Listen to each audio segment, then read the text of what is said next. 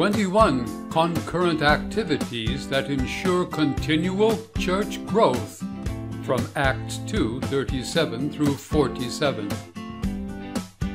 Despite persecution from hostile authorities, the Apostolic Church at Jerusalem enjoyed astonishing growth as the Lord added to their number daily those who were being saved.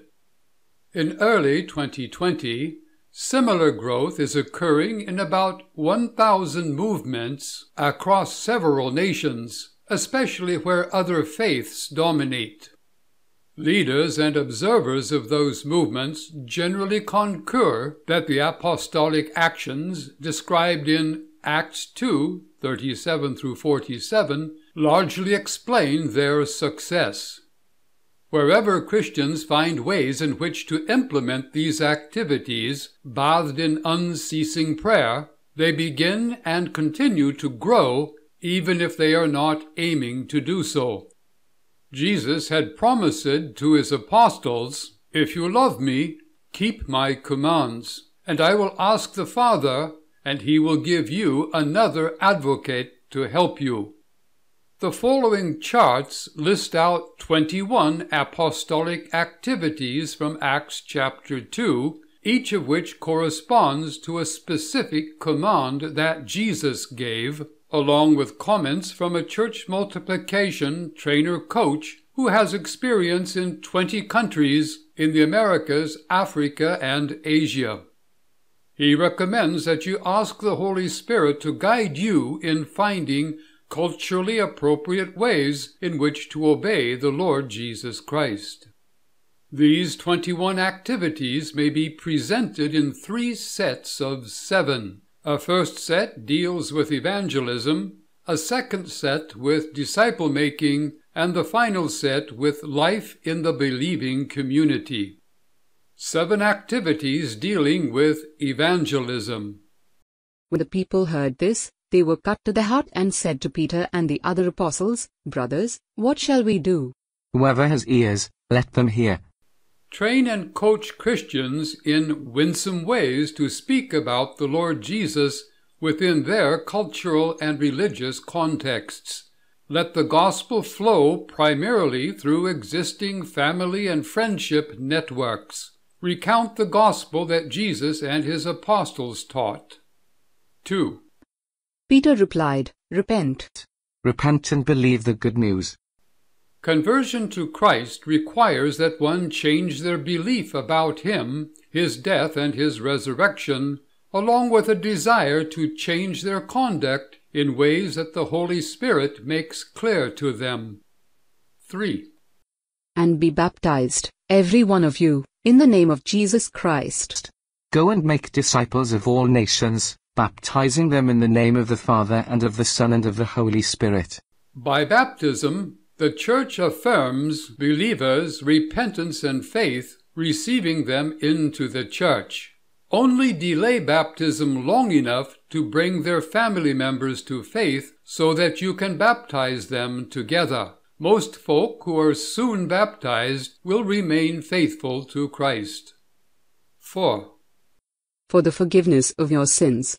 If you forgive anyone's sins, their sins are forgiven promise seekers that God will forgive everything they have done, said, and thought. Assure Christians often that God has forgiven all their past sins and forgives all new sins that they confess to Him. It is guilt or shame that drives folk away from Christ. 5. And you will receive the gift of the Holy Spirit. Receive the Holy Spirit.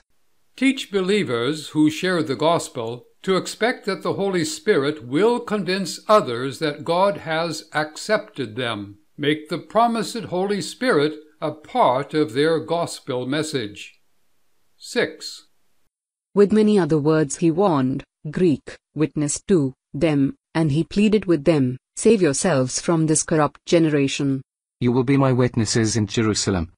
The authority of your message comes from Jesus and his apostles we also bear witness of what Christ has done in us individually.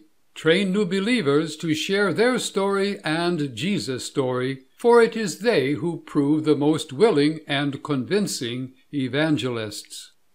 7. Those who accepted his message, Greek, word, were baptized, and about 3,000 were added to their number that day. If they obeyed my teaching, Greek, word, they will obey yours also. Make it clear from the start that, upon baptism, one becomes a follower of Jesus, receives the Holy Spirit, and immediately becomes a member of your faith community. Welcome new believers without requiring a study course or a long testing period. Seven activities dealing with disciple making. 8. They devoted themselves. If you hold to my teaching, you are really my disciples. Arrange immediately for new believers to have group opportunities that fit their culture and educational level that are simple enough to become a regular practice. Make Bibles and easy materials available at affordable prices. 9. The apostles' teaching. Teaching them to obey everything I have commanded you. The apostles' teaching centered on the person, deeds, teaching, and promises that they learned from Jesus, not on 17th century abstract theology. The first teaching for new believers concerns Jesus. First practices should be Jesus' basic commands. 10. And to fellowship. A new command I give you, love one another. Fellowship means sharing. New believers participate actively in meeting urgent needs, counsel, insights, and lessons, as well as acts of love meeting urgent material needs. Allow even the poorest of believers to share the little that they have. 11. To the breaking of bread. He took bread, gave thanks and broke it, and gave it to them, saying, This is my body given for you, do this in remembrance of me. In new households and cells, no one is prepared to preach sermons, so make the Lord's table the center of worship. Take time for folk to repent of sins, to sense the Lord's presence, to weep, to express their gratitude. 12. And to pray. Until now you have not asked for anything in my name. Ask and you will receive, and your joy will be complete. From the start, churches and cells offer up prayers in behalf of all who come, teaching to pray to the Father, invoking Jesus' name with help of the Holy Spirit. They pray for miracles amongst the unsaved and for peace in their city. 13. Everyone was filled with awe. Tell them how much the Lord has done for you. And all the people were amazed.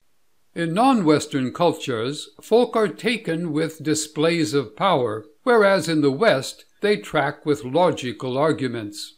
Wherever evil spirits deceive folk with magic, expect the Lord Jesus to bind those spirits and to loosen folk from their grasp.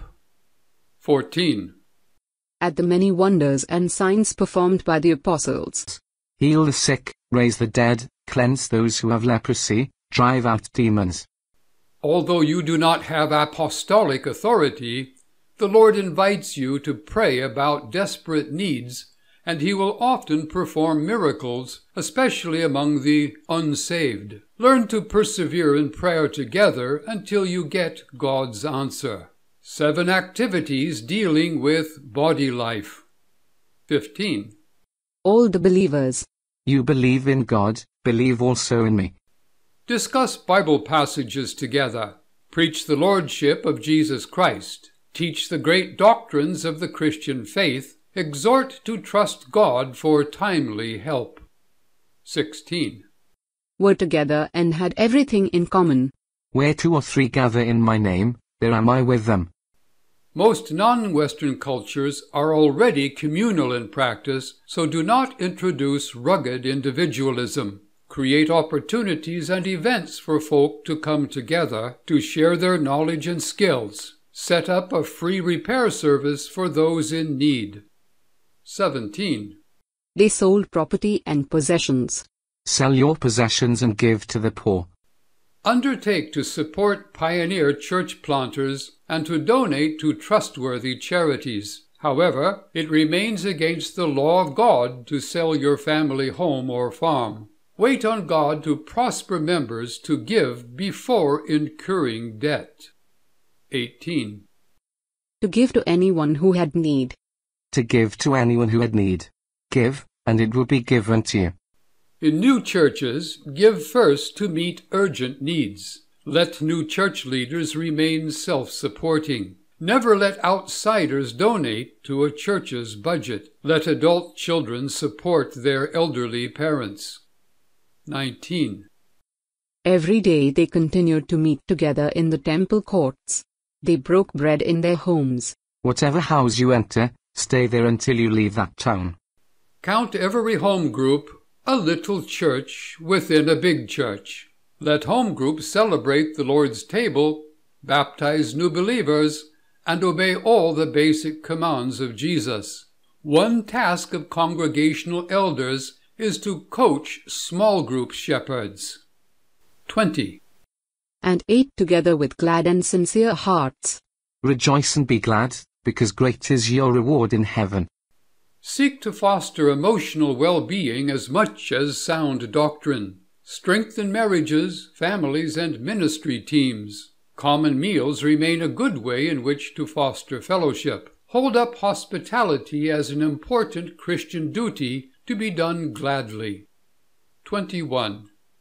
Praising God and enjoying the favor of all the people. Love the Lord your God with all your heart and with all your soul and with all your mind and with all your strength. Experiment with culturally meaningful ways in which to worship. Invite believers to express praise to God. Welcome outsiders who want to learn.